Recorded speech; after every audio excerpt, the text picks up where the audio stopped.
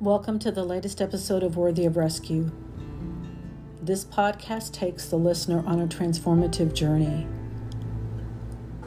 It shows our identity is a tapestry woven from numerous voices that surround us family, friends, the media, and authoritative figures.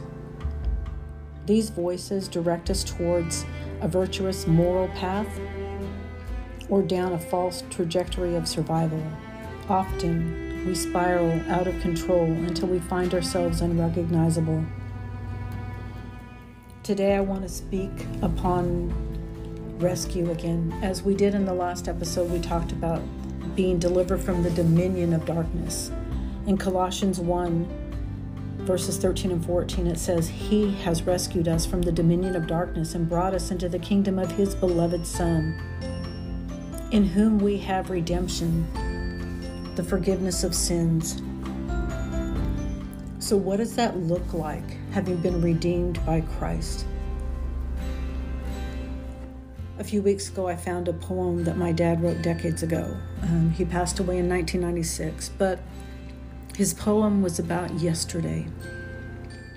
I've shut the door on yesterday, its sorrow and mistakes, and now I throw the key away to seek another room, to furnish it with hopes and smiles and every springtime bloom. I've shut the door on yesterday and thrown the key away. Tomorrow holds no fear for me, since I have found today. The only word I would add to his poem is the last sentence. Tomorrow holds no fears for me since I have found Christ today. What does that look like? Walking in forgiveness after having laid down your life at the foot of the cross, repenting, turning away from the direction you were going into a new direction. In Isaiah 43, verse 18, it says, Remember not the former things, neither consider the things of old. Or Paul in the book of Hebrews, in chapter 10, he was talking to the church saying, Our sins are washed away and we are made clean because Christ gave his own body as a gift to God.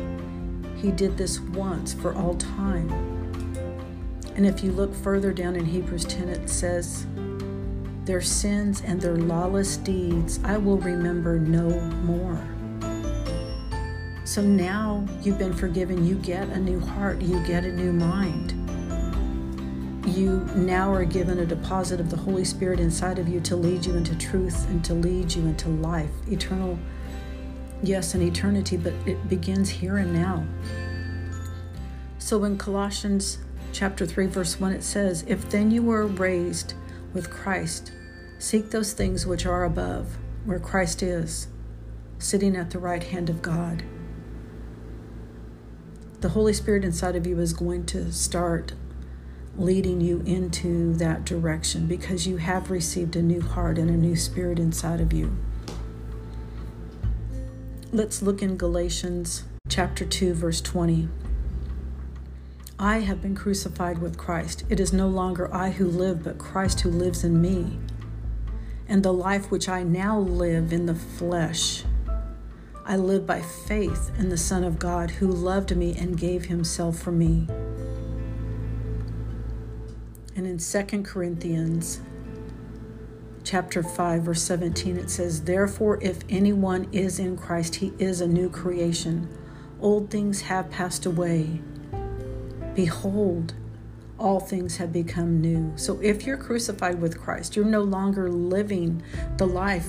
You've given yourself to the Lord. Let Him, through the Holy Spirit, through the Word of God, let Him mold you and make you who He truly created you to be. Let His plans and purposes spring forth in your life. For there's no one else made on the earth who is like you. There never will be again. So, my dear listener, remember that you are worthy of rescue and you are pursued by God.